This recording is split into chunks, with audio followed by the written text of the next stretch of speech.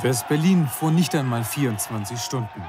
Ein Symbol wird erobert, spontan stürmen es einige, dann hunderte Berliner die Mauer am Brandenburger Tor. Richtig in der Rückerinnerung sind mir ganz viele Ereignisse, Demonstrationen, Botschaftsbesetzungen. Da war, glaube ich, der Mauerfall einfach nur der Höhepunkt. Die Grenze ist offen und sie bleibt offen und sie wird von Minute zu Minute von mehr Menschen überschritten. Eigentlich wäre ich ja in Norwegen gewesen, im Trainingslager hieß es zu DDR-Zeiten. Da war nämlich die Nationalmannschaft. Aber ich hatte in der Zeit Knieprobleme und bin einfach zu Hause geblieben, habe mich noch auskurieren müssen. Und deswegen habe ich dann diese Zeit, also wo es ja auch um den Mauerfall ging, zu Hause verlebt. So. Er ist ja so lange schon dabei, hatte mal ein bisschen ein Tal. Jetzt kommt er schon. Anfang des Wendejahrs 1989 wird er nochmal Weltmeister für die DDR. Sieht gut hinaus. Jawohl. Mit Sicherheit der Ja. weiteste Sprung Jawohl. und ich würde auch sagen der schönste. Jawohl. Er muss jetzt klar die Führung übernehmen Ja. vor Nikola. 89 Meter. Weil das Wetter keinen zweiten Durchgang zulässt, reicht ein Sprung zum WM-Titel in Finnland. Bald danach kommt die doppelte Wende, die politische und die V-Stil-Wende, nicht mehr eng beieinander, weit auseinander müssen die Skispitzen jetzt für mehr Weite in der Luft sein. Der einzige, der mit beiden Sprungstilen Olympiasieger wird, ist Jens Weißflug. Im Abstand von zehn Jahren. Als Sportler in zwei deutschen Ländern. Den Vaterländischen Verdienstorden bekommt er und das Bundesverdienstkreuz.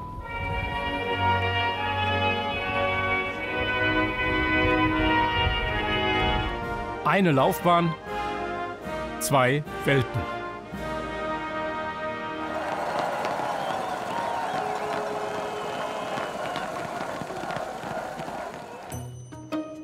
In Pöla entdeckt er das Skispringen. Dem Erzgebirge wird er lebenslang verbunden bleiben. Die Kinder- und Jugendsportschule in Oberwiesenthal formt das Talent. Mit 14 geht das Gewinnen los. Es gab viele kleine Spartakiaden, die Kreisspartakiade, Bezirksspartakiade und dann eben die ganz große. Aber bei dieser ganz großen, die ja auch nur alle zwei Jahre stattfand, erfolgreich zu sein, das war einfach das Größte. Es war mehr als DDR-Meister zu sein und da ganz oben zu stehen. Da stand zwar im Rücken auch ein Banner mit Sieg des Sozialismus und so weiter, aber es war eher die Feierlichkeit dieser Veranstaltung, die so ein bisschen Olympischen Spielen für Jugendliche nachempfunden wurde. Die Olympischen Spiele für Erwachsene erlebt er mit 19.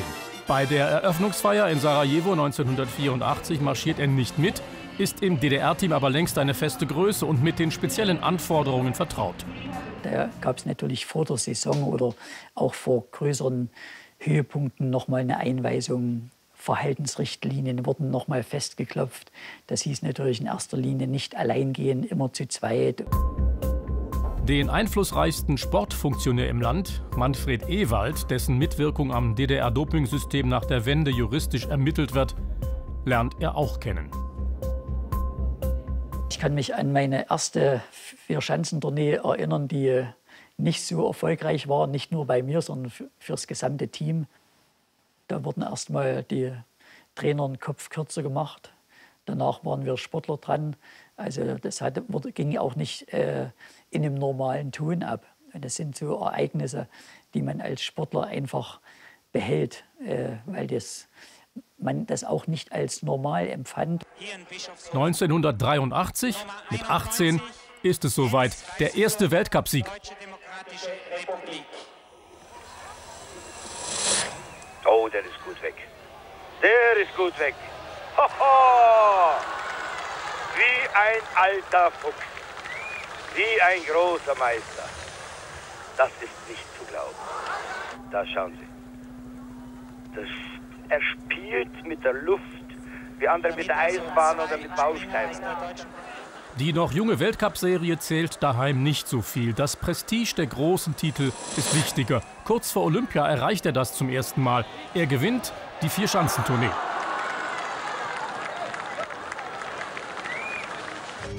Die Umstände der Reise zu den Spielen in Jugoslawien kurz darauf sind dann nicht gerade leistungsfördernd. Ja, zumindest aus Sportlersicht waren wir ja mit dem Zug unterwegs, 36 Stunden. Zu dem Zeitpunkt hatten, haben wir uns sicherlich auch gefragt, warum fliegen wir da nicht einfach die zwei Stunden hin und sind da, warum setzen wir uns jetzt 36 Stunden in den Zug? Der Teenager muss beim größten Ereignis seines Lebens ohne zwei Vertrauenspersonen auskommen. Der Trainer und sein Vater fehlen. Verwandte ersten Grades durften nicht gleichzeitig an der Wettkampfstätte sein, äh, zumindest nicht im kapitalistischen Ausland, wozu ja Jugoslawien so zum Teil mit dazugehörte. Und diese Gefahr, dass sich dann die beiden dort vielleicht absetzen, die war dem Staat zu groß. Jens Weißflug, Junge, Junge, Junge, Junge, Junge, geboren in Erlabrunn, arbeitet in den Osterzgebirgischen Posamentierwerken in Annaberg-Buchholz. Es ist windig am Berg Igman. Weißflog muss warten auf der kleinen Schanze. Nach dem ersten Sprung hat der Tourneesieger einen Rückstand von dreieinhalb Punkten auf Matti Nykänen und ist im zweiten Durchgang vor dem gleichaltrigen Finnen dran. Ja, Millionen zu Hause stehen hinter dir und pusten und pusten und pusten. Jens, je auf Janze, möchte ich berlinerisch sagen, zu dir als Erzgebirgler. Und flieg und flieg und treibe den Sprung und lande sicher. Er bleibt vorerst sicherlich an der Spitze. Da Nykenen nach mir kam, war auch die Anzahl der Interviews relativ bescheiden und schnell durch, weil alle damit rechneten, Nykenen würde gewinnen. Und nun Nykenen die Entscheidung. Weißflug führt. Ich war schon wieder auf dem halben Weg nach oben, äh, als dann Nyken endlich dran war. Und habe das so halb am Aufsprunghügel dann miterlebt. Nein, er war nicht weit genug, aber ist es der Olympiasieg? Ist es der Olympiasieg? 84 Meter? Nein, Weißflug ist Olympiasieg. Das erste Olympiagold vor den Finnen Matti Nykänen und Jari Puikkonen. Und die Realisierung, die kam bei mir erst in dem Moment, wo ich das erste Mal für mich allein war, dann viel später im Olympischen Dorf, wo ich für mich dann abends im Bad vorm Spiegel stehe und denke, das Spiegelbild, was ich da sehe, das ist doch der, der heute Olympiasieger geworden ist.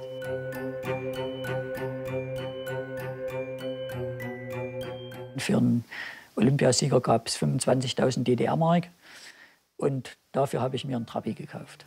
Also mein erstes Fahrzeug war ein Trabi Deluxe mit ausstellbaren Seitenscheiben hinten, mit Rollgurten, mit so einem Drei-Speichen-Lenkrad, dann Scheibenwischer Intervallschalter. Also da lacht man heute drüber, aber das waren die Besonderheiten.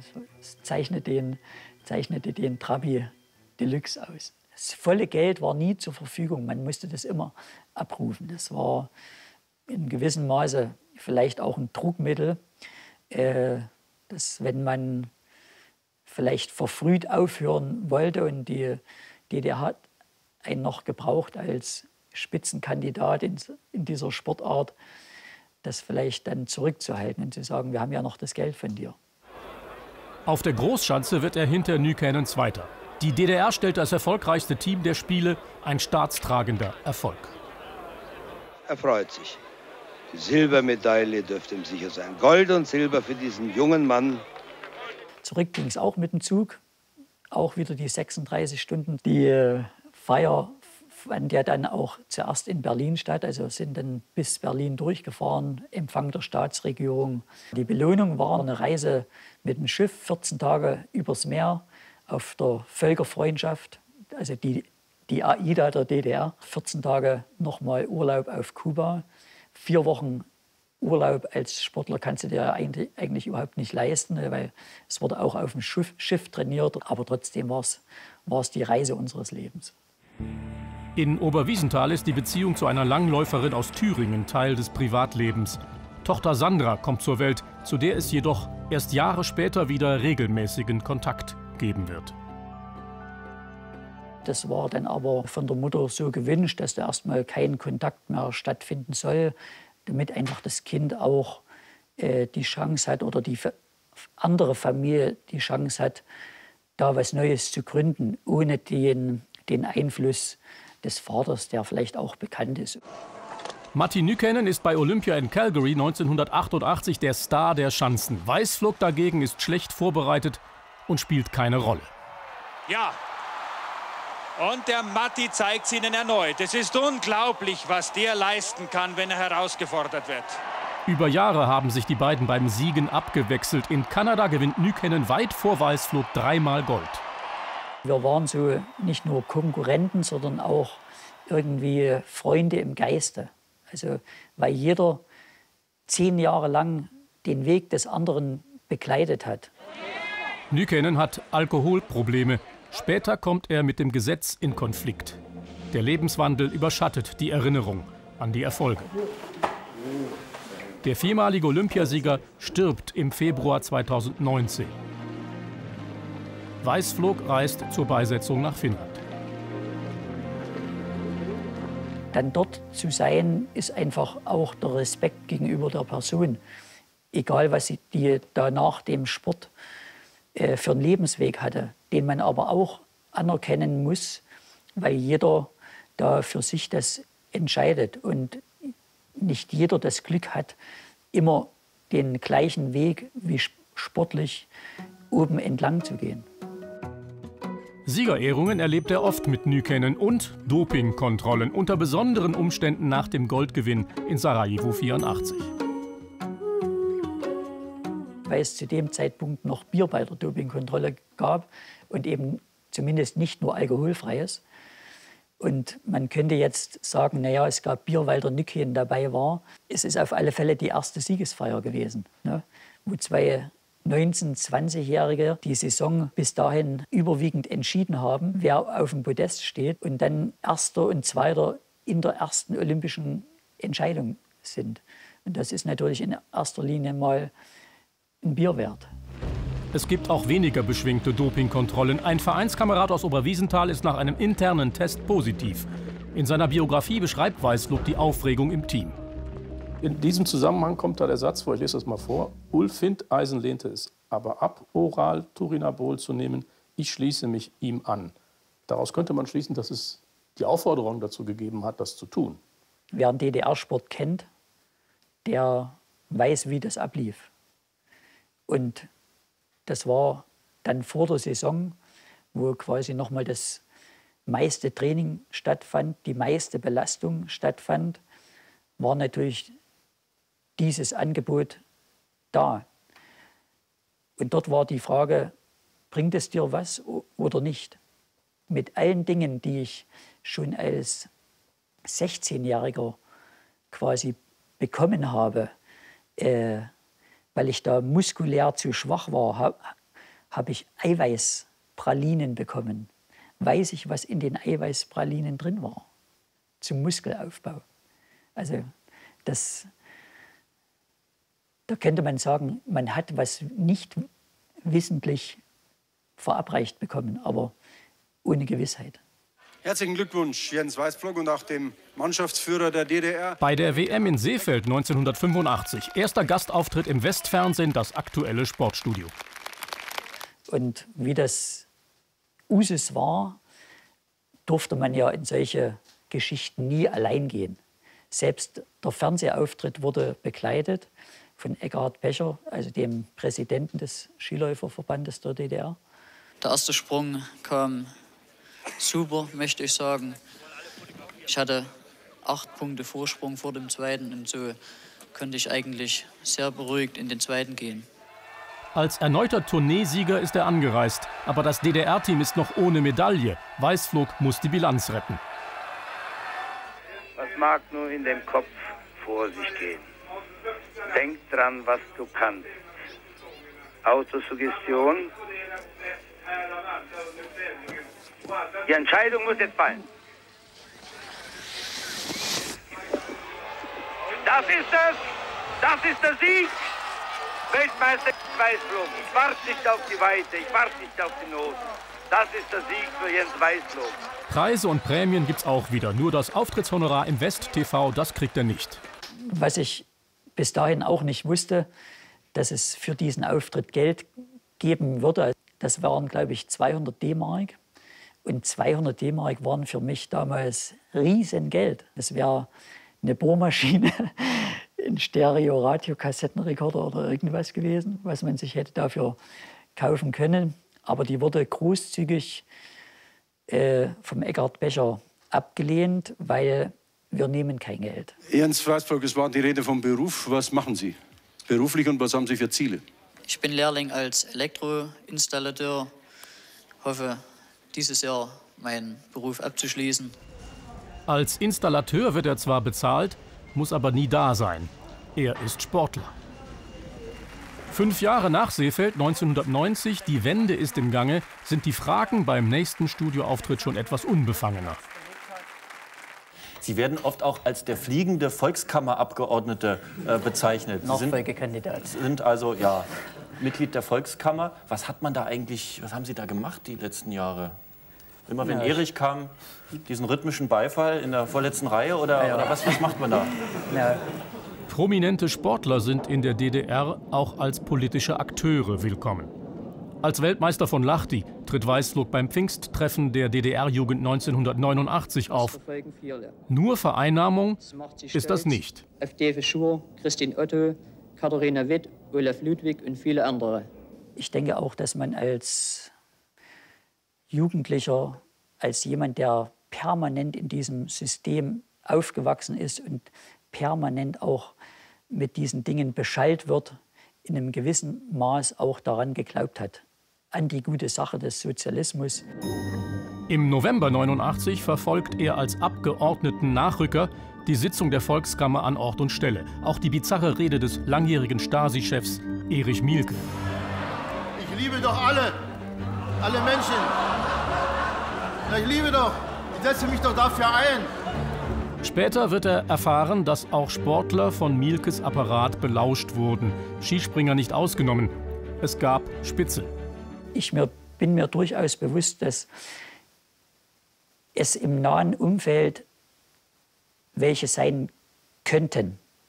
Ob das der Trainingskamerad war, Trainer vielleicht, die dich über Jahre begleitet haben. Aber ich will die Bilder, die ich von den Leuten habe, die es vielleicht hätten sein können, behalten, wie sie waren. Ich habe meine Stasi-Akte bewusst nicht angefordert. Äh, Nicht des, ja, vielleicht so ein bisschen des lieben Friedens willen. Im Rückblick habe ich zumindest für mich keine Nachteile empfunden, wo ich sage, das könnte etwas gewesen sein, wo mich jemand verpfiffen hat. An der Torwand trifft er im Januar 1990 zweimal. Der Schwarzwälder Dieter Thoma ist auch da. Er hat an diesem Tag als erster Westdeutscher seit 30 Jahren die Vierschanzentournee gewonnen. Vor dem Schlusstag sieht Weißflug wie der sichere Sieger aus. Noch im DDR-Dress wird er dann nur Dritter. Widerwillig kommt er zur Siegerehrung. Es wäre sein dritter Tourneesieg gewesen. Der gelingt ihm erst nach der Wiedervereinigung, die die Skispringer 1990 im Handumdrehen erledigen. Wir sind eigentlich von, von, von einem Wettkampf abgereist, wo wir noch gegeneinander gesprungen sind, zum ersten gemeinsamen Trainingskurs. Und dort gab es am Abend eine Ansprache vom damaligen Bundestrainer Rudi Tusch.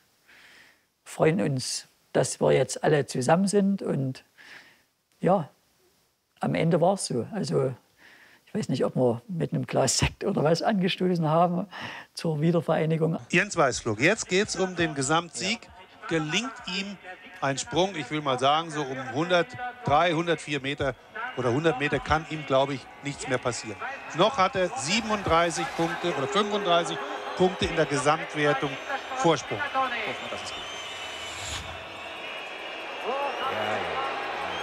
Reicht, reicht, reicht. Hat's gewonnen.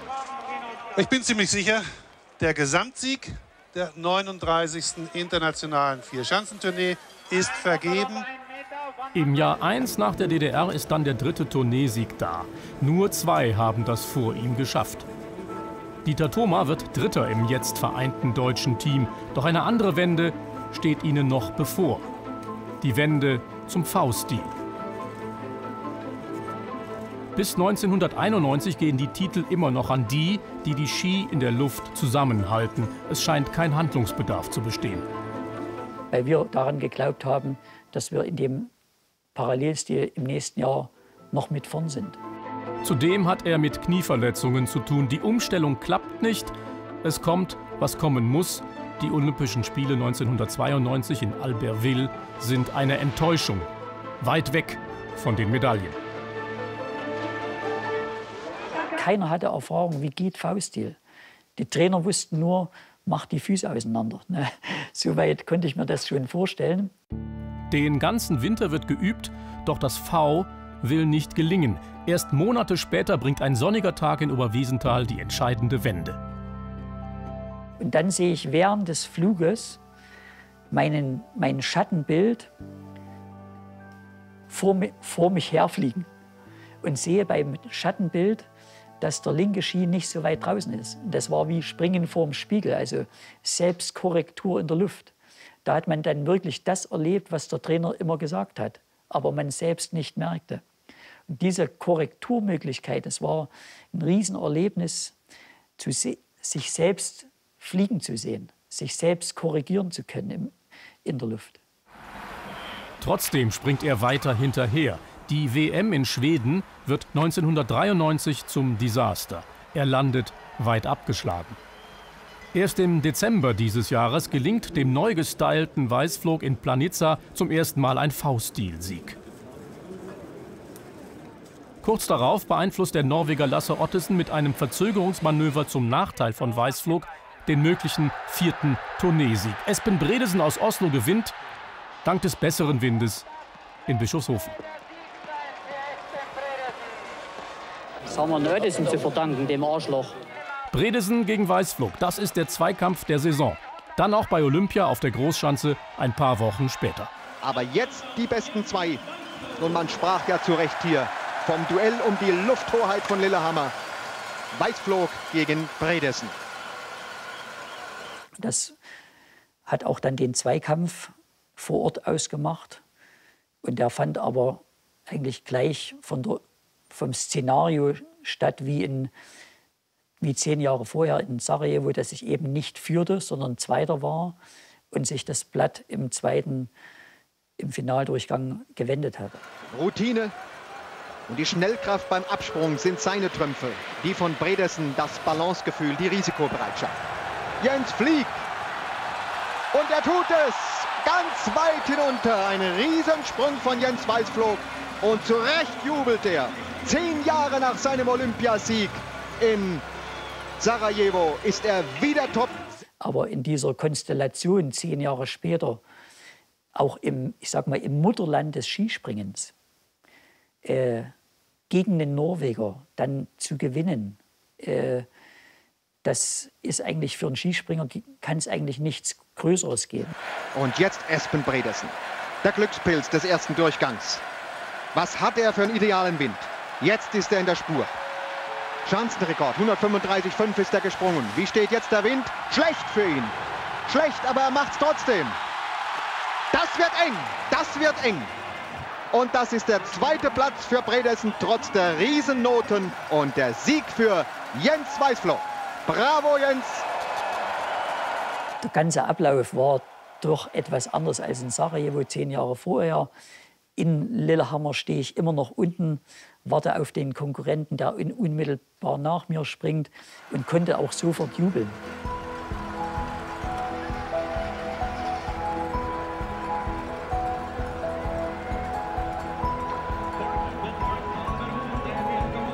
Jens Weißflog, Allemann. Es hat für mich eine emotionale Bedeutung gehabt, weil es natürlich mit vielen Dingen zusammenhängt. Ich sage mal nicht, nicht mit der Wende, aber Umstellung auf den V-Stil. Dann klappt das nicht gleich mit dem V-Stil. Dann wirst du 30. bei der WM. Dann wirst du als Brathund bezeichnet. Es ist ja in erster Linie auch nicht nur eine Genugtuung für einen selbst, dass sich das Training gelohnt hat und so weiter, die ganzen Dinge, die man dafür tut, sondern es ist auch dann eine Genugtuung gegenüber den Kritikern. Ehefrau Nicola hat den Erfolg mit den beiden Söhnen daheim erlebt. Beim nächsten Goldgewinn im Team ist sie dabei. Doch es gibt ein Nachspiel. Weißflog gratuliert dem Schlussmann der überlegenen Japaner schon vor dem letzten Sprung. Masahiko Harada macht dann mit einer indiskutablen Leistung das deutsche Quartett zum Olympiasieger. Weißflog wird unfaires Verhalten vorgeworfen. Die Sache steht in der Zeitung. Beim letzten Wettkampf auf der kleinen Schanze kurz danach wird er ausgepfiffen und reagiert unbedacht. Vierter wird er in seinem letzten olympischen Wettbewerb und verlässt Lillehammer mit gemischten Gefühlen. Am Alleinstellungsmerkmal der einzige Olympiasieger im Parallel- und V-Stil zu sein, noch dazu für zwei deutsche Staaten, ändert das nichts.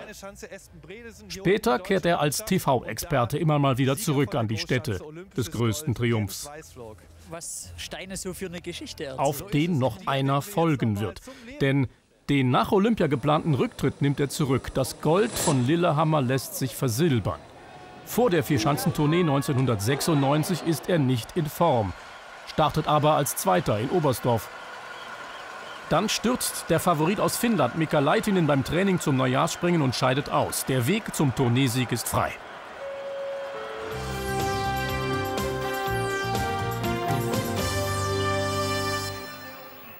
Vor 13 Jahren hatte er auf dieser Schanze seine, erst, seine erste Vierschanzentournee gewonnen. Und heute am Dreikönigstag setzte er sich selbst die Krone auf. Jens Weiß flog auf dem Sprung in Bischofshofen. Und mit ihm gewann der 31-Jährige aus Oberwiesenthal zum vierten Mal die Vierschanzentournee als erster Springer überhaupt. Krönender Abschluss einer beispiellosen Springerkarriere. Und damit guten Abend und willkommen zum Heute-Journal und direkt zur Politik. Daheim im Erzgebirge verfolgt man den historischen Erfolg beim Public Viewing. Und das war sicherlich auch der Sieg des Tages. Es hat zu diesem Zeitpunkt dann auch medial die Bedeutung eingenommen, was für mich nochmal auch eine Erfahrung war, wo ich gedacht habe, du bist schon bekannt, aber plötzlich war ich noch bekannter. In Österreich erfüllt er sich noch einen letzten Springertraum und überfliegt die 200-Meter-Marke. Im Sommer darauf ist Schluss. Abschiedsspringen in Oberwiesenthal. Schanzenrekord 102 Meter. Der Wechsel ins Berufsleben ist nahezu übergangslos. Er eröffnet ein Hotel in seiner Heimatstadt. Und wer sein Zimmer sucht, tut gut daran, die Erfolgsstationen in der Karriere von Jens Weißflog zu kennen. Dreimal Olympiagold, vier Tourneesiege. Das reicht für die Unsterblichkeit. Sind alles Dinge, die dazu beigetragen haben, dass der Name Jens Weißflug heute immer noch eine Rolle spielt. 23 Jahre nachdem ich aufgehört habe, kommen die Leute immer noch und wissen, wer, da, wer das ist, wo Leute heute nach drei Jahren teilweise schon vergessen sind. Mit seiner zweiten Frau Doreen hat Weißflog Tochter Greta, die als Neunjährige die sportliche Familientradition fortzusetzen beginnt. Wir haben da nicht den Anspruch, dass er jetzt Olympiasiegerin werden soll. Aber wie bei mir sehe ich die Dinge auch nicht immer nur zum Spaß, sondern auch mit einer gewissen Konsequenz, dass man, auch wenn man mal keine Lust zum Training hat, dann eben trotzdem hingeht. Wichtig für uns ist nur, dass sie nicht YouTube-Star oder Influencerin werden will, sondern sie soll was Richtiges machen. Der Hotel- und Restaurantbetrieb kommt im Jahr der Corona-Pandemie wiederholt zum Erliegen. Die Lockdown-Erfahrung hinterlässt Spuren, auch beim Olympiasieger im Erzgebirge.